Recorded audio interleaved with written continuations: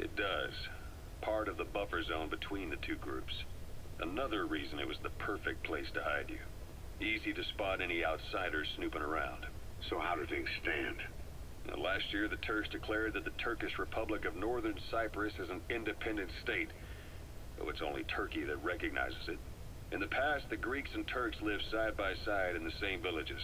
There are reasons to fight. Those came from the outside. Greece, Turkey, Britain, America, they all had their own stake in pitting the two sides against each other. But once you spark something like this, it's impossible to control. Both sides build up grudges like death, without the foresight to see that each act of revenge just fans the flames, and then it's too late for other nations to rush in with peace talks. The embers keep on smoldering. Each nation's arrogance only breeds anarchy. The world is paralyzed by this hunger for revenge. Cyprus is no different.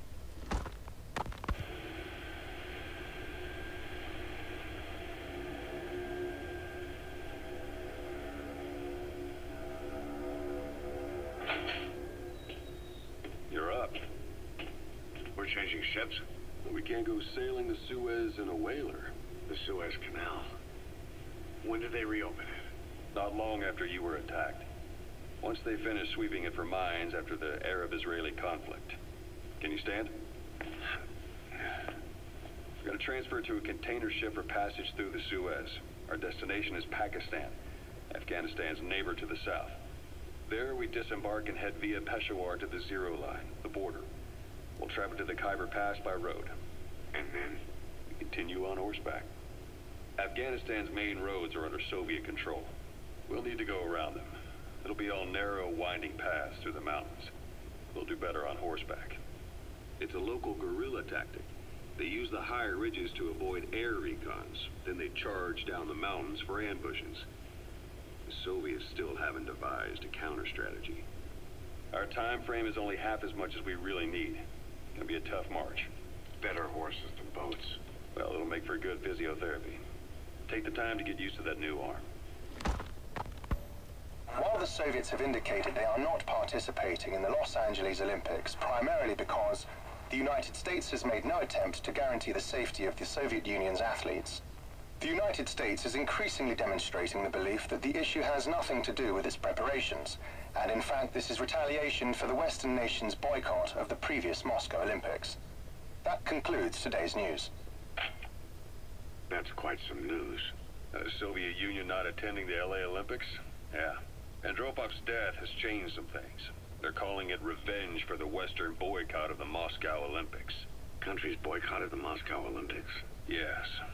In protest of the Soviet Union's invasion of Afghanistan. Over 50 countries were absent.